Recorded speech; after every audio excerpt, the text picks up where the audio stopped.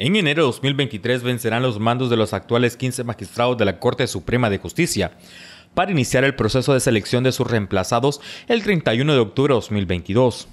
La presidencia del Congreso Nacional convocará a una junta nominadora que tiene el mando constitucional y legal de integrar una nómina por el triple de número de vacantes existentes para entregarle al Poder Legislativo, a cargo de realizar la elección final.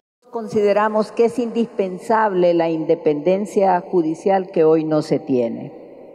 Por eso es importante este proyecto de ley porque está orientado a transparentar el proceso en la Junta Nominadora.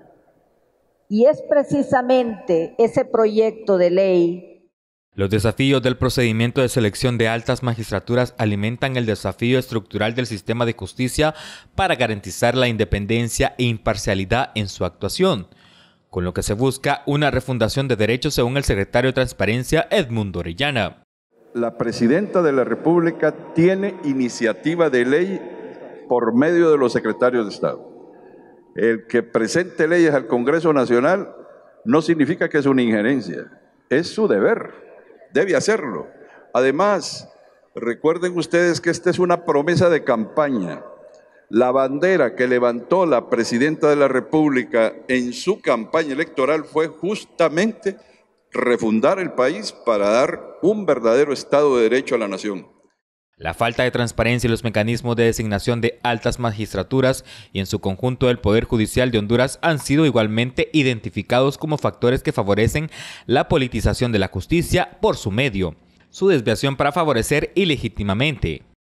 Se renova esa esperanza y en este caso estamos a la puerta de un nuevo proceso de elección de quienes van a impartir justicia en el tribunal de alzada de mayor jerarquía como lo es la Corte Suprema de Justicia. Entonces, hemos hablado de blindar a quienes van a participar en la Junta Nominadora. ¿Y cómo? De acuerdo con el artículo 314 de la Constitución de la República, la Corte Suprema de Justicia está conformada por 15 magistrados, que son elegidos por un periodo de 7 años y dicho procedimiento de selección lo establece el artículo 311 de la Carta Magna. Se trata de un procedimiento dividido en dos etapas, la preselección de candidaturas y la elección y nombramiento a cargo del Congreso Nacional. La elección de los nuevos magistrados de la Corte Suprema de Justicia es fundamental e importante para diferentes sectores sociales.